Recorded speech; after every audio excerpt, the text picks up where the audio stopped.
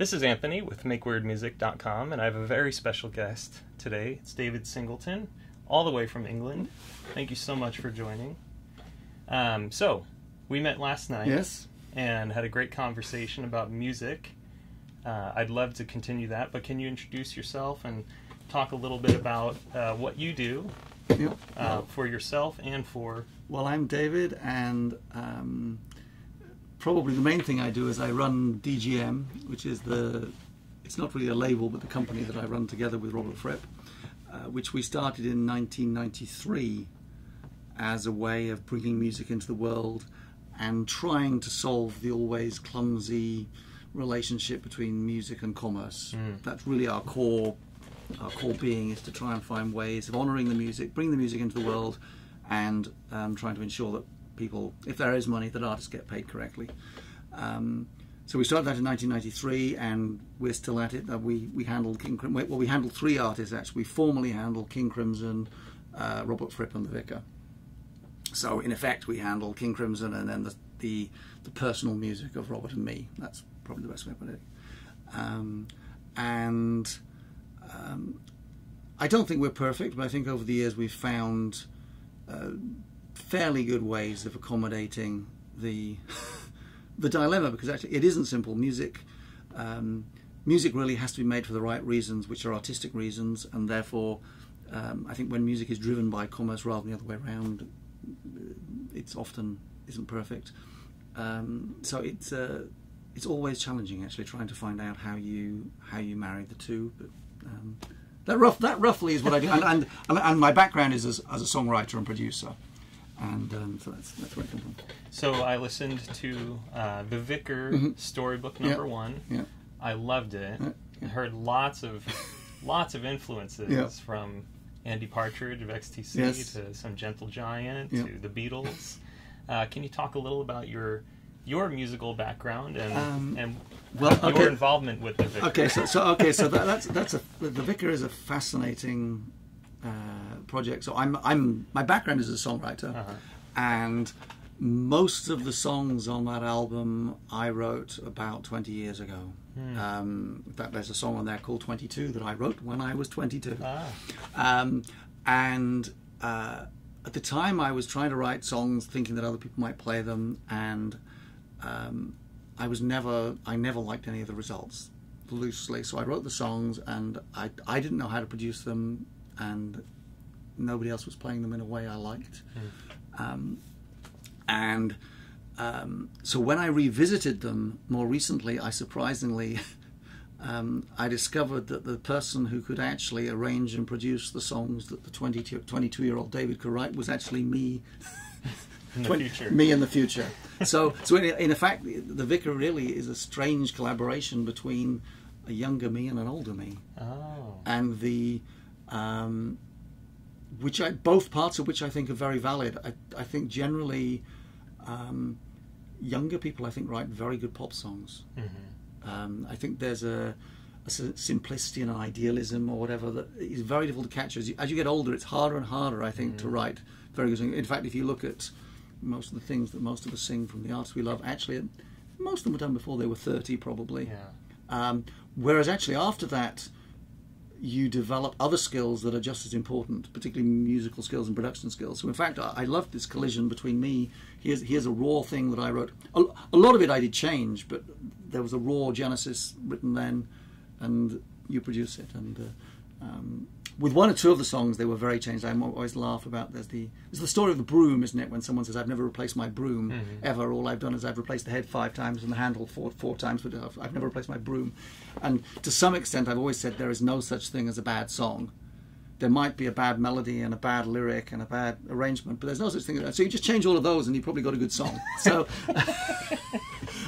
So, so some of those songs have been slightly reinvented since the 22-year-old me wrote them. But yeah. Did you write them with the orchestration in mind? Because it, it's so Um, there's so much going on. I, I heard.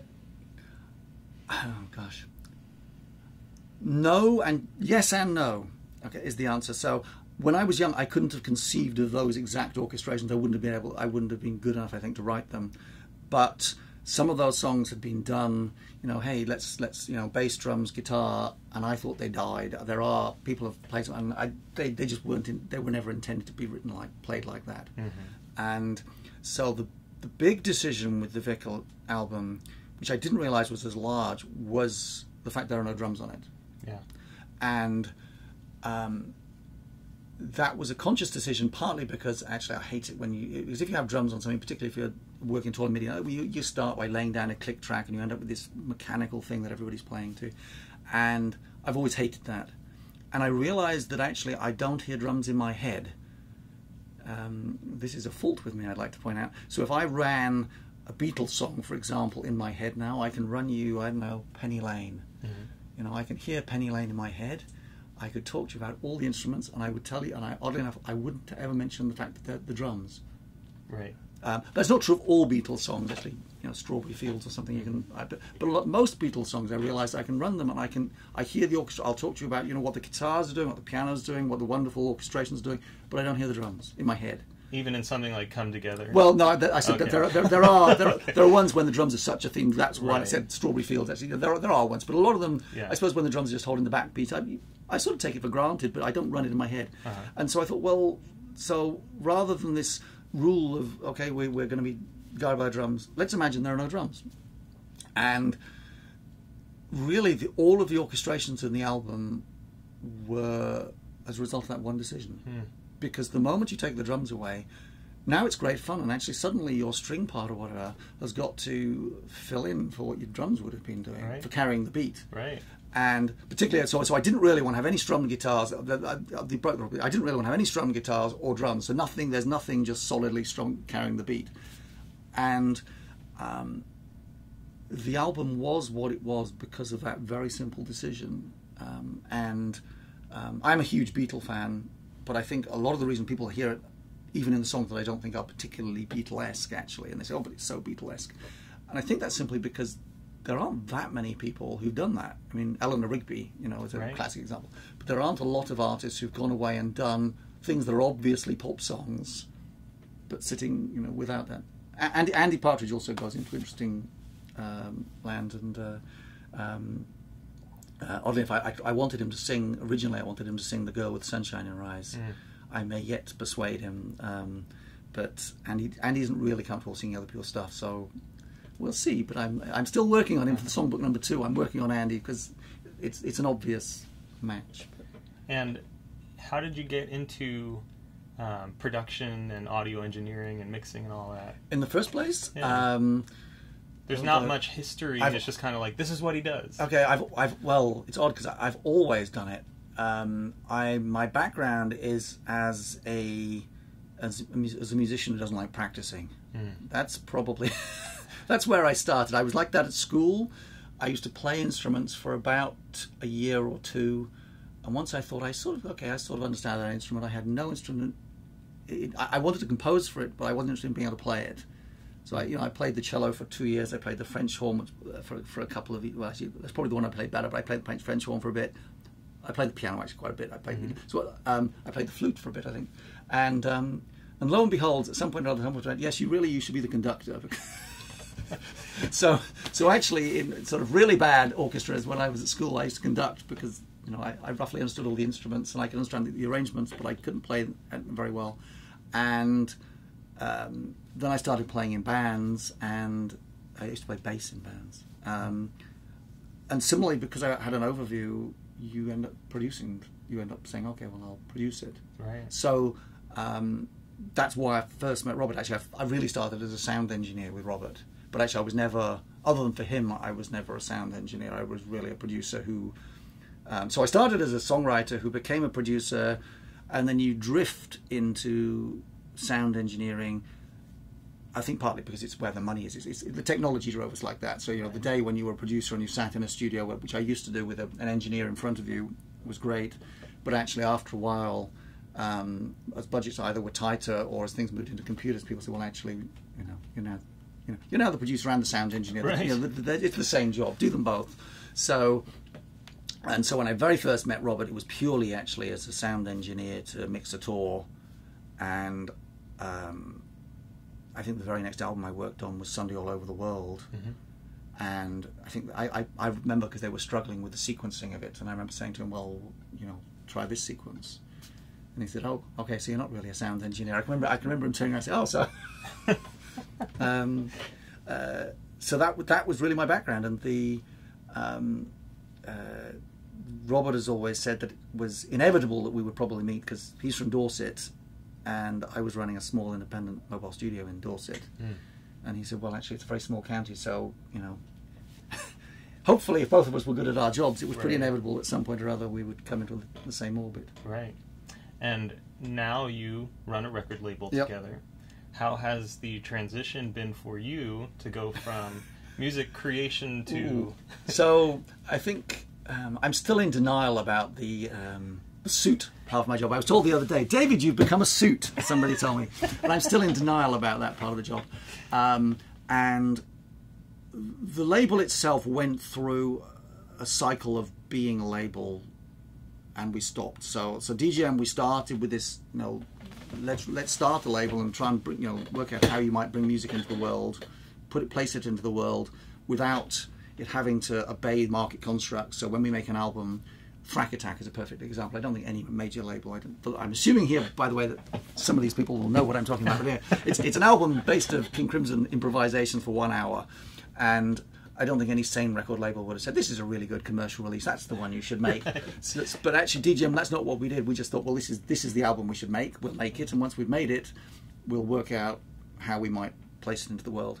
Um, so we were doing that, and because possibly we were doing it reasonably well, um, other people were keen we did it for them. So uh, there was a period of DGM about the first five or six years, possibly younger, when it um, it kept expanding. So we had, you know, we had King Crimson, then we had the solo albums. So we had Tony Levin's solo albums, Bill Bruford's solo albums. Uh, we had John Paul Jones, um, and this was fine. And there was a point when I realised I now got out of bed.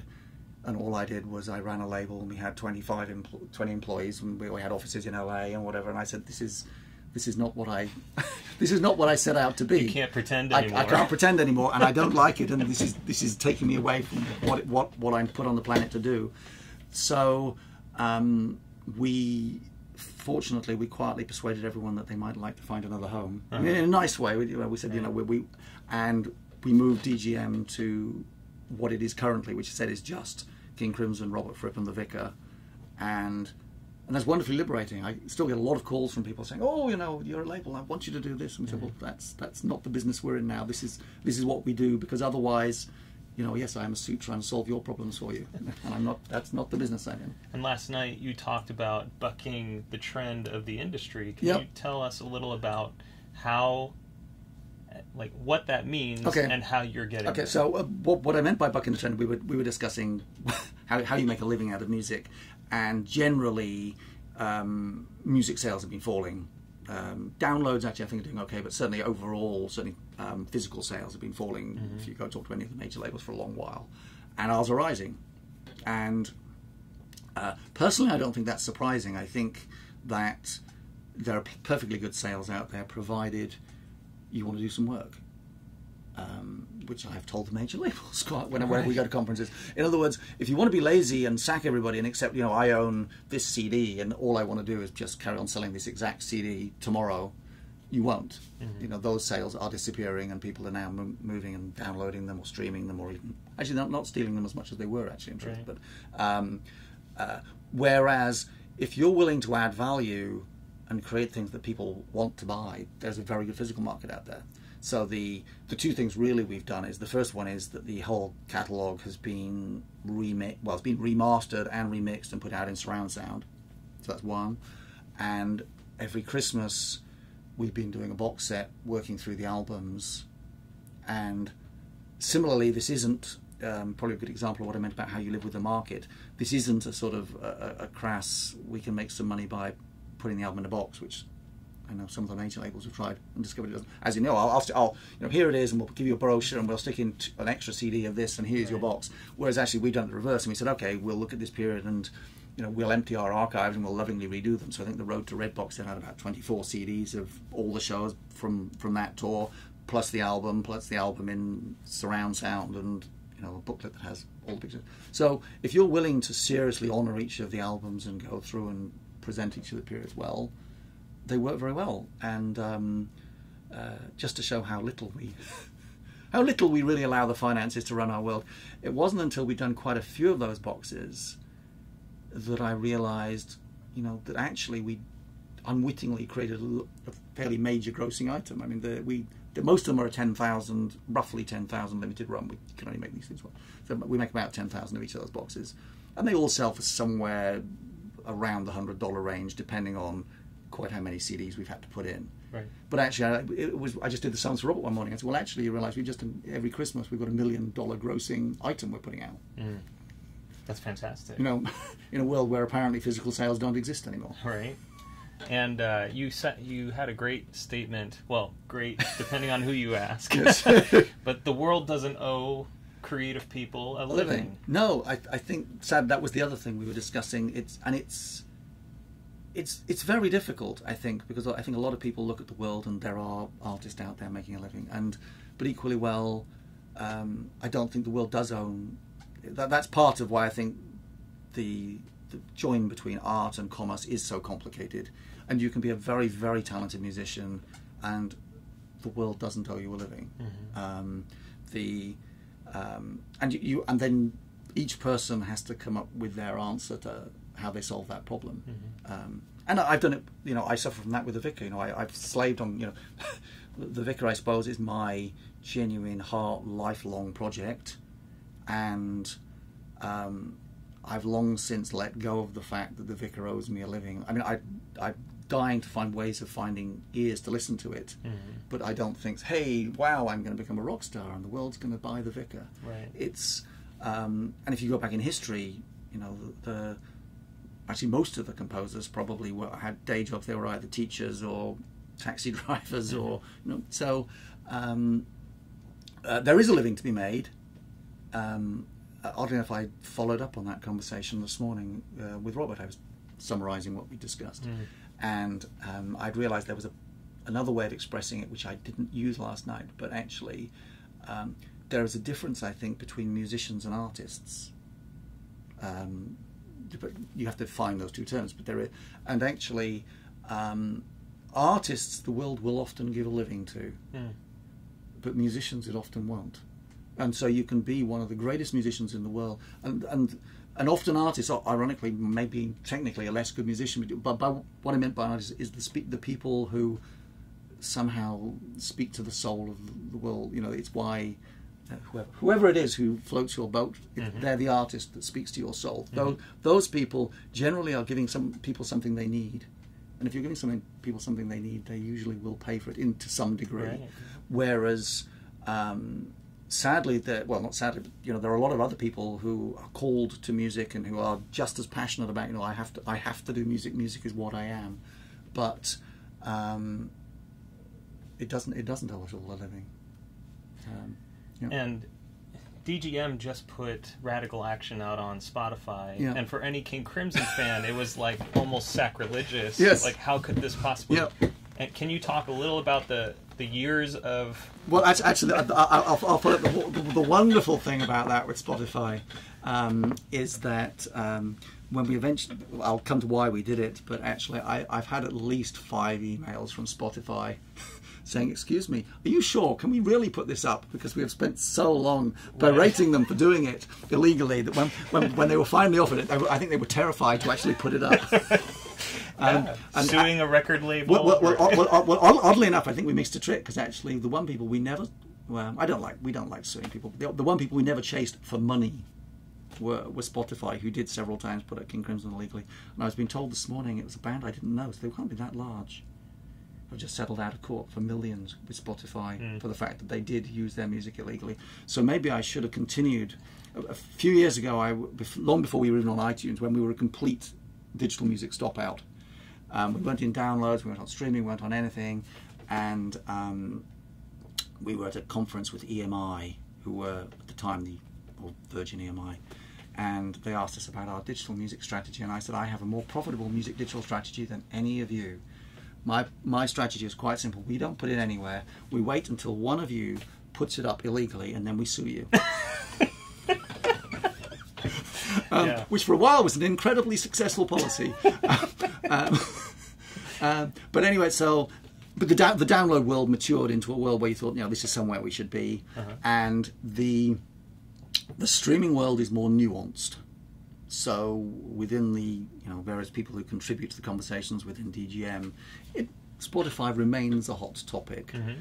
and the What's the spectrum of views? the spectrum well the spec the hard the, the biggest fear on the left probably from the people who do our physical distribution is that it might carve into our physical sales. Mm-hmm. And the the danger of that is that physical sales require volume.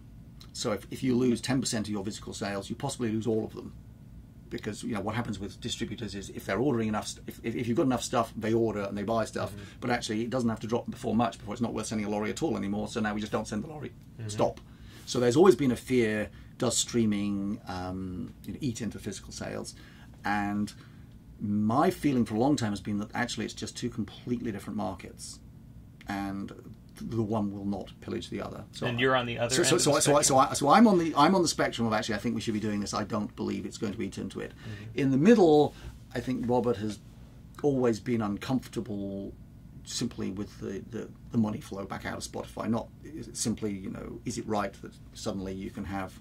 Um, Perhaps I shouldn't name him out here because I don't know if he wants to be named. But I was speaking to a very famous producer the other day who um, has had 14 million downloads last year and was sent a check for thousand dollars from Spotify. You know, so there is an argument that says is you know is Spotify playing its fair way?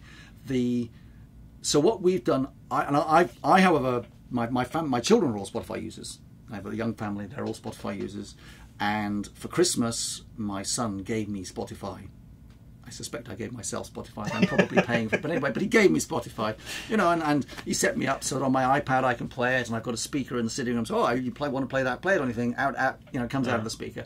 And I've always maintained that I think a music library, subscribing to a music library, is one of the ways that we will all enjoy music, mm-hmm. and it's wonderful. I mean, I went to see La La Land. I don't, have you been to see La La mm-hmm. Land? I, mm-hmm. you know, I was a lover of La La Land. Musically, I was a lover. of So I came back. You know, it's great on a high. We just seen it. Came back ten o'clock at night. Went onto my iPad, played La La Land, and danced around the sitting room to La- you know what. Why, why is this not? Why is this not a wonderful thing to do? Right. And so it seemed to me that it was slightly perverse that in my home life I was doing this, and in my professional life I was saying, "But you can't do it with King Crimson." So the uh, the compromise situation seemed to be that we would put radical action onto Spotify because it doesn't risk suddenly, you know, in the court of Crimson King, hey, no one's buying it anymore because it's now on Spotify. Um, if I'm right, we will add Court of the Crimson King because I will then be able to show that it doesn't mess up with the physical sales. But um, with radical action, um, it's there. Um, if, if you've gone to see the concert last night, hey, you can go and listen to roughly what it was. If young young kids want to talk, you know, you should listen to King Crimson. There's King Crimson out there. And actually, I love the fact that the King Crimson that's out there is the new band, not something historic. I love the fact that if someone goes, "Did you should listen to King Crimson?" If you did on Spotify, what you'll get to hear is this band, Yeah. not a band from 40 years ago. Yeah. Um, uh, in fact, uh, the same thing's true. We've been adding tracks to YouTube, and I love. Uh, I think um, Starless has just hit two million, um, which is a lot, lot of views for King Crimson. And I love the fact that actually the highest viewed item on YouTube, where there is quite a lot of historic King Crimson, is a brand new track by the brand new band. Right. So That's awesome. yeah. so what uh, what's happening with the rest of the Vicar's work? Okay, the the, Vic, the It's a whole. It's not just the CD. No, it's so, so, so graphic novel. No, so, so the the irony of the vicar is that me, the songwriter, I you know I cut my core. I think I'm, I'm a writer certainly, when I'm a, I'm both a word writer and a songwriter. But I wrote those songs, and um, I actually the excuse to finally make an album was because I wrote a series of books. So the um, the core of the vicar. The vicar. It's a series, roughly. It's whodunits in the music industry. It's all these wonderful stories about corruption that you hear about, um, and uh, based around uh, the character of the vicar, who's a music producer, and his. Um, his assistant, Punk Sanderson, who writes the books, who's The far wit- yeah, who's far wittier and more obscene than I would ever dare be. Right. So, um, and uh, the genesis of that actually, I was in a studio with Robert, and somebody called, and as usual, it was some horrendous story about, you know, someone had been ripped off or um, whatever. and I turned around to him and said, "Why has no one written whodunits about the music business? I mean, it's just a, you know wonderful thing to set of stories in, and all these stories, all these stories exist." And this voice came from behind me, because Robert was sitting behind me, said, "Because you haven't written them yet." um, which was the challenge I took. So um, I wrote the first Vicar book, which was actually published as the Diary Online, and then the second one, and the, the two of them were put together into the, um, a, a, book that we put out. And I realised that actually having created the, the character of the Vicar, which is a whole world of you know, semi semi fictional real world, whatever you want to put it. Um, that now this was this wonderful opportunity that the vicar could make an album, Mm-hmm. and um, it's very weird. Um, I'm not going to. You start saying things when you realise, hold on, I'm saying things that sound a bit odd now. But um, ironically, Punk Sanderson, who writes the Vicar books, um, Punk Sanderson writes a much better book than I write. Ah. I've written books by David Singleton, and Punk Sanderson writes, although I am Punk Sanderson, Punk Sanderson writes a much better book than I write. And I've considered previously several times, in fact, at the height of DGM, I considered lots of times putting out a David Singleton solo album, and I thought, well, what's the point and why is anyone interested? And The Vicar, even though I am The Vicar, produces a much better album than David Singleton would produce. Mm.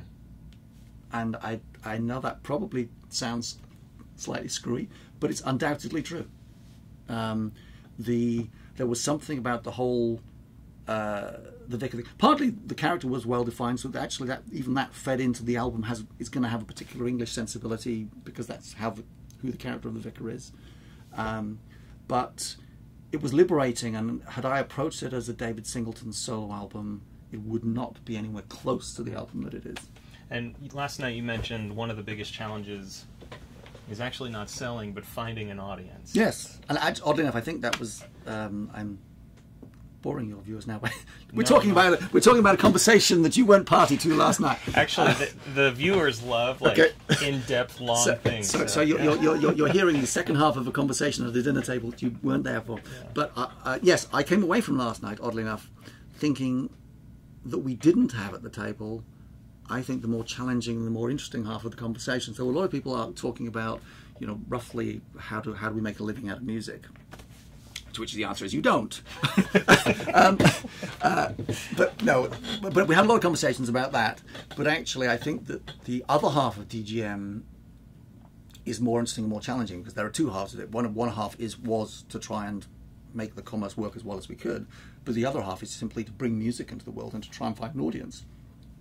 And ironically, we never tapped really on that last night, which is. And I, I don't have any secret. I'm afraid I don't have any secret answers to this. If I did, you'd have all have heard the Vicar album by now. Um, but the, um, and I think that is a much more interesting challenge. And I think that the, the way that the music world is going, actually, that is quite exciting. So the same way that you can get quite depressed about, you know, how do I make a living?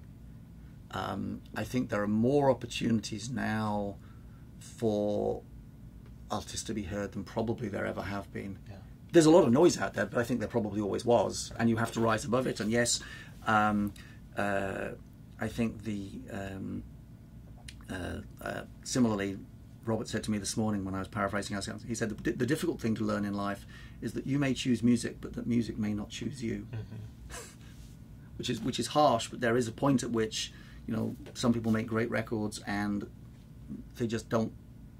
They aren't mu- they, they aren't the type of music that goes and speaks to you know to a huge audience in a wonderful way, which is very horrible. But the um, but assuming that you know we're assuming here that maybe we've made a record that you know. Um, for which there is an audience, and there is an audience that would like it, which I, which I believe about the vicar heartedly. by the way, Otherwise- otherwise it wouldn't. I, I do. I, I cut I me, cut me, and I believe. You know, I so Yeah. um, I think there is a uh, there are more ways out there now than there have ever been um, for you to go and do it, and it's it's just as tough as it's ever been because there is a lot of noise out there. But the playing field is so but- much more level. Exactly. So previously, really, unless you had a major record deal, it was a non-starter. And the the irony of the Vicar, ironically, is that you know when I was 22, 23, had EMI come along and I'd cut their hands off, say, "Oh, David, you want to do this?" You'd say, "God, thank you." and um, just when I had just about finished doing the Vicar Songbook number one, um, I started having conversations about EMI about did they want to license it, and I suddenly realized we were having a conversation that was pointless because you were thinking, well, what is what what are you going to offer me now Right. that I don't have? I've made the I, I can make the record. You know, you you you don't you're not telling me that you don't have a secret answer to how we promote it. So actually, what is your role in this? Right. Um, so in that, and you're right. So it is a much more level playing field where it used to be, unless you've got a you know a huge major behind you, really nothing is going to happen. Whereas the likes of Spotify and YouTube and social media, it is a much more level playing field. Just I said, it's not. There's no answers, and obviously there are no answers because if there was an answer, everybody would try it, and then it would stop being the answer again. You know, so, so the moment somebody right. does something clever and they, oh, that worked, well, it'll never work again because everybody's doing the same thing now. So, um, but I think if you've got the right music, it, it is a so the same the same things that I think make music challenging financially actually open up avenues for people to hear music, which overall means that I think they're all these things are therefore good for music Right. um, because I think the the um, music and the music and the, the music business is always a clumsy construct. Yeah. It's it's better out of the way in a funny way. If if if the music can flow, that's wonderful. Artists don't like being ripped off. I mean that's Roberts. So the, the you know the core of DGM was because people are being ripped off. So so if stuff is being sold. I firmly believe that the artist should get their fair share of it. So I don't think artists should be ripped off. But um, equally well, it's not uh, it's not wrong that music should maybe be free. If music is completely free, that's different because now the artists aren't being ripped off necessarily. If, music is free, well, music is free, um, and um, I don't think free solves anything either. By the way, but Right. because actually, if you've if you've got great music, um, people pay for it, and if you've got shitty music, people won't listen to it even if it's free. Yeah. It's so the the, um, the price is slightly irrelevant. So we're running out of time. That's but, right. Uh, I wanted to just get a sense from you because I, I recall Robert uh, posting something about planning tour dates through 2018. Is there a longer timeline than, than that? Um, there's a longer timeline than that. I don't. There is no set end to this King Crimson. Huh. Uh, they, they were originally going, proposing to maybe take a break and then maybe start again. The break is no longer proposed. Hmm. So um, I think over breakfast this morning we were discussing what we might be doing in 2019. We don't have an answer to that, by the way, but uh, I do know what we're doing in 2018. I don't think I'm going to tell everybody, but uh, the, there is a full year's touring in 2018, um, and um, so uh, I mean, right now with the you know there's this tour, so there's the roughly it's a West Coast tour. I mean, let me zoom across to Chicago, so I don't know what you, what you want to call it, but there's there's this half of a US tour, um, and um, which still has tickets available. It is not totally sold out. Let's get that in there. Um, but then uh, I think in the next couple of weeks we will be announcing an autumn run that ends in New York. So there's a um, roughly a, if, if this is the West Coast, then we're doing the, the East Coast Okay. um, starting in Austin, just to confuse everybody about where the East Coast is. It's on the coast. yeah, it's on the coast. um, so, so this this year is entirely US. It's two, tour, two tours in the US. Um, next year, I think, will be Europe and Japan. Hmm. Uh, well, no, I know will be Europe and Japan. Um, and um, 2019, we're excited to try and do South America. Always problematic, just in making it happen. But we're excited to try and do South America, and because that will be the 50th anniversary, to do some radical ideas that I haven't had yet. um, I, I proposed the tour of London the other day, and that might happen, Wow. as in seven dates touring London. So there is an exciting future. Uh, That's, yeah, that's so great. yeah, th- th- this is this is a band, and I think the I think the band are up for it. I think the eight piece is um, inexplicably far far better than the seven piece. I can't wait to see him Bill tonight. Rieflin will tell you it's because he's in the band. I don't know, but whatever it is, but it's um, yeah. It, every year this band reinvents itself and gets better. So That's awesome. Yeah. David, thank you That's so all right. much for taking some time. I really okay. appreciate it. great All to you. Thank Cheers. you. Thanks. Bye.